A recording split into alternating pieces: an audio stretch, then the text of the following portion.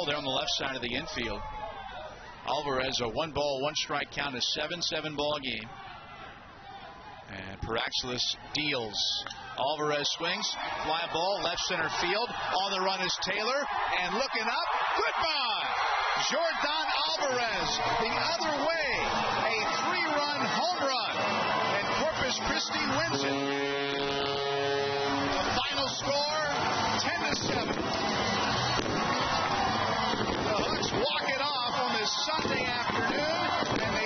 At home plate.